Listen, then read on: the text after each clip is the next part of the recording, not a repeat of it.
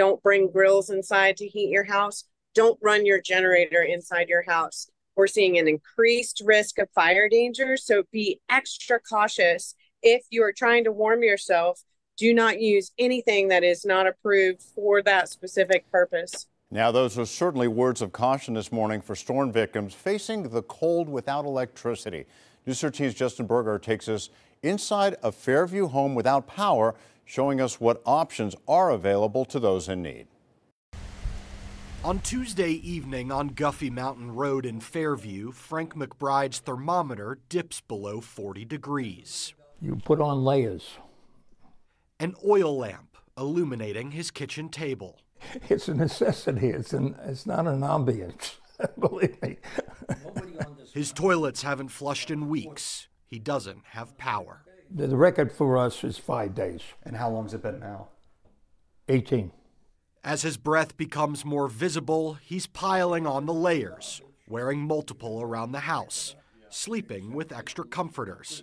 But he says going to the shelter has not crossed his mind.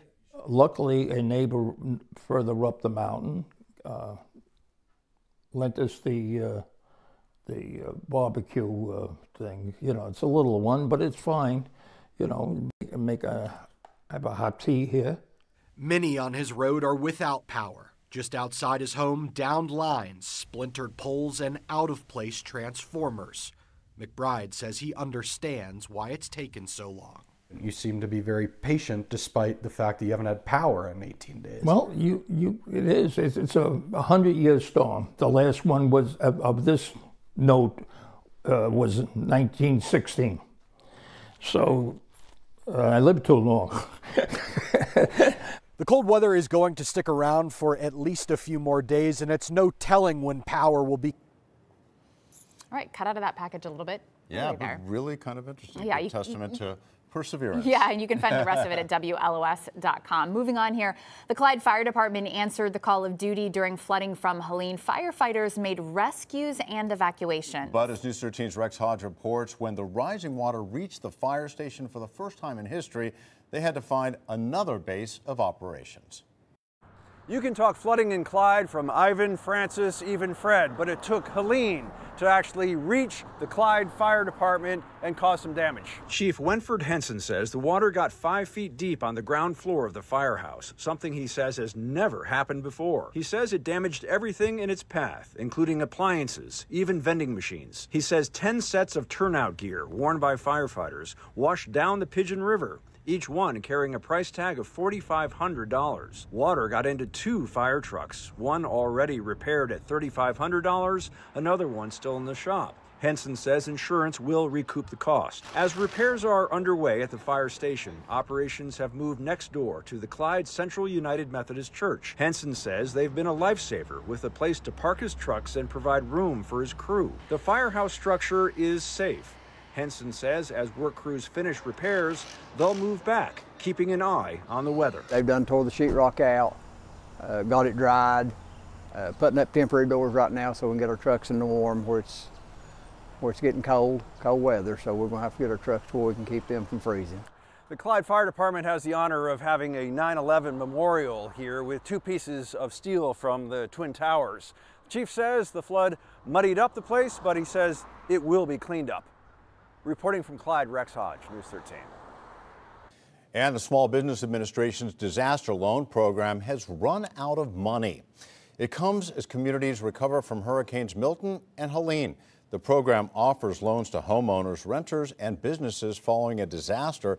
The SBA is pausing new loan offers until it gets more funding. Congress can approve more funds, but lawmakers are on recess until November 12th.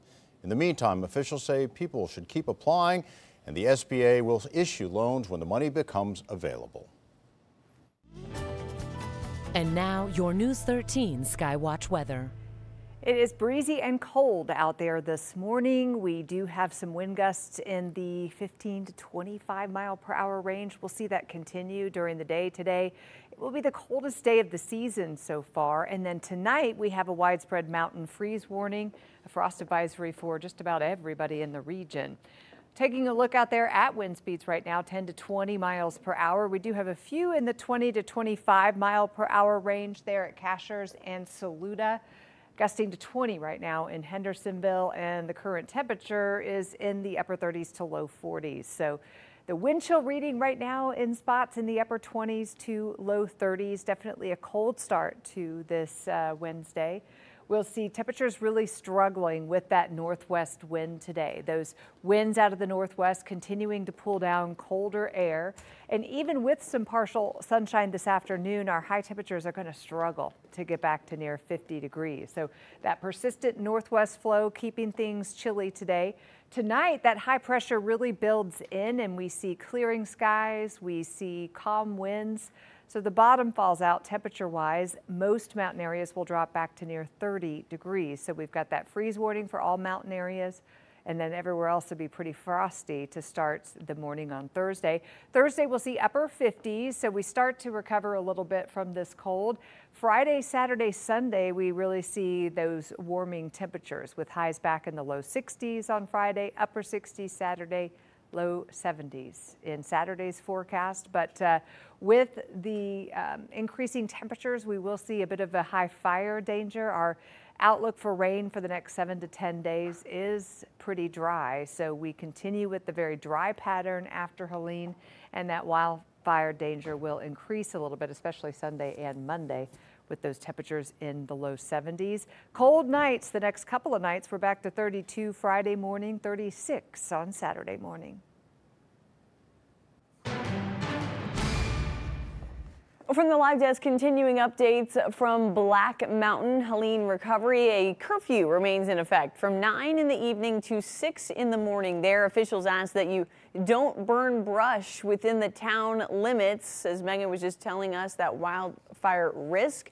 Also, avoid getting into rivers or streams and avoid town parks until they officially reopen. A mobile charging and internet connectivity station is still available in the lower parking lot of uh, First Baptist Church. That's on Montreat Road. And remember that even if you do have water back right now, it is not drinkable, even if boiled. Um, if you need any of these links from any of the information that we've given you this morning, phone numbers or addresses, you can uh, search the county um, on our website, WLOS.com, for those recovery resources. That's the latest from the live desk.